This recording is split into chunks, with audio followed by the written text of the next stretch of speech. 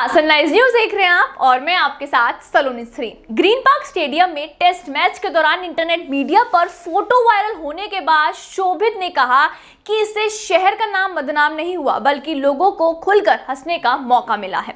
Internet media पर viral photo को कवि डॉक्टर कुमार विश्वास सहित कई लोगों ने ट्वीट किया था। इस वीडियो के वायरल होने के बाद शोभित ने खुद इस बात की सच्चाई बताई कि वो मैच के दौरान जब वीडियो में उनका चेहरा आया तो वो क्या खा रहे थे।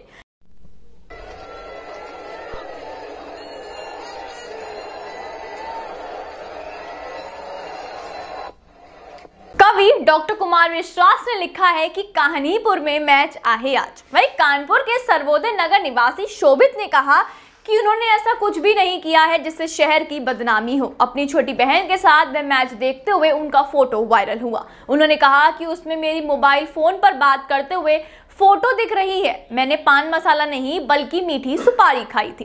हालाँकि कमेंट देखकर लग रहा है कि शहरवासियों को खुलकर हंसने का मौका ज़रूर मिला है। मुझे अपनी चिंता नहीं है, बल्कि वीडियो देखने के बाद मेरी बहन को लेकर भी काफ़ी कमेंट किए जा रहे हैं। वो काफ़ी निंदनीय है। चौक में पोस्टर व कैलेंडर का काम करने वाले शोभित के मुताबिक हमारी अदा पर लोग खुलकर हंस रहे हैं। अब हर व्यक्ति तो एक जैसा हो नहीं सकता। कोई अच्छा लिख रहा है तो कोई खराब लिख रहा है। लोगों ने खूब मस्ती की, लोगों ने इसे कानपुर की अदा बताया है। दरअसल, कानपुर की पहचान पान मसाला खाने वालों से नहीं, बल्कि आदर और सभ्यता से है। कई जगह मेरे माफ़ी मांगने का वीडियो चल रहा है, लेकिन मैंने ऐसा कुछ भी नहीं किया है जिसकी वजह से मुझे माफ़ी मांगनी पड़े।